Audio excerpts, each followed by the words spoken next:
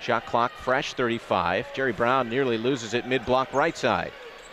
Top of the arc, Johnson fires a pass to Jalen Richard. Going to drive, pushes it off the window, and scores. Fall in this contest. Great it. job, Julian. He had a career high 11 against Bethesda over the weekend. 15 to shoot. Jaleel Williams from Texas drives the lane. Nice left hand as he switched from. Broncos have the rebound once again and are doing a number of San Jose State on the boards here. 13 to 10. MacArthur open from his office. That's that mid-range baseline. Backdoor intended for Jared Brownridge, who did not cut. Intercepted by Brandon Mitchell. DJ Brown. Ball fake down low. Out top to Mitchell. Cross court pass to Jalen James. Back to DJ Brown with 20 to shoot. Two minutes into half number two. Jumper by Williams is good. Boy, Jaleel Williams, a fine-looking basketball player for the San Jose State Spartans.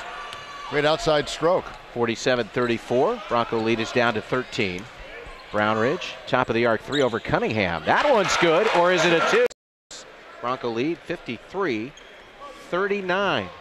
14-point advantage. San Jose State kind of sticking around a little bit. And Jerry Brown's getting some real minutes out here for the Broncos. Jerry Brown leaning in against, and an excellent job sealing off that defender.